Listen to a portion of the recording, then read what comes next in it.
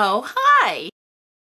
Today we're gonna make this hooded t-shirt look a little bit more fancy. And by make it fancy, I mean add some lace. You can use either a hooded t-shirt or like a regular hooded sweatshirt or as the cool kids say, a hoodie. Or you can make a hood to add to a t-shirt or whatever other garment you want and line it with some lace. Here's what you'll need.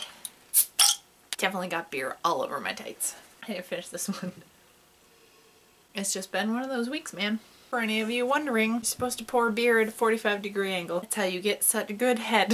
As you can see behind me, I had the pumpkin beer before I had the regular Hefeweizen UFO. And I have a fancy glass that I got at a beer tasting. Doing nothing but the fanciest today, guys. Pinkies out, bitches. Right, what was I saying? Something with a hood, or you can make a hood and then line it with the stuff we're gonna line it with. On some kind of matching or complementary lace. I'm using a hooded t-shirt, meaning it's made out of t-shirt jersey. The lace I'm using has a little bit of stretch to it. I like this hood because it has a design like on the top. So when you put it on, you see all these little people. I don't know why I like that so much. Matching thread in a sewing machine would also be helpful. Also pins. So I've laid out my lace. I'm to fold it in half. Lay your hood on top of that. You want to keep the curved back of the hood on the fold of your lace. Go ahead and cut that shape out.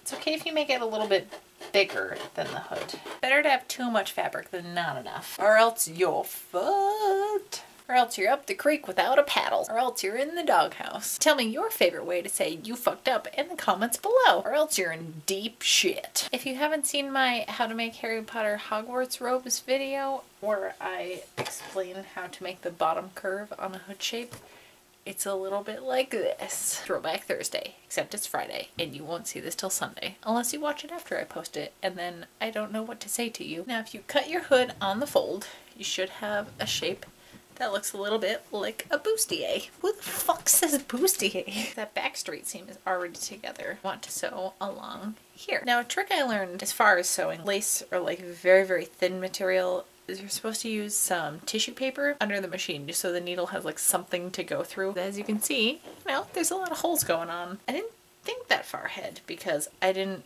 know that I was going to do this project until about 30 seconds before I turned the camera on. I'm going to see how this goes. See how much I fuck up my sewing machine. So just do a little straight stitch along that curved piece until it meets where your fold was. Well, that seems to have gone okay. I still want to recommend doing this without tissue paper, but my machine didn't die. Now I just look like a weird nun or someone attending a funeral. One thing to point out before you do that is make sure that everything's right sides together. So now you want to keep this hood inside out, wrong sides together. I'm going to fold the very edges, which is why I said to make this a little bit bigger than the actual hood, um, just to give it a nice finished edge. I'm to start pinning it along the edge just where the seam is on the original hood. Leaving this edge right here is especially important if you have a hood, as most do, with a pull string on it that will scrunch it up. So now that the whole face side of the hood is pinned on, I'm going to do a straight stitch or top stitch or whatever you want to call it. One that'll look real nice. I didn't say this before I did it, but do that same top stitching thing where you just pin everything a little bit folded over along this neckline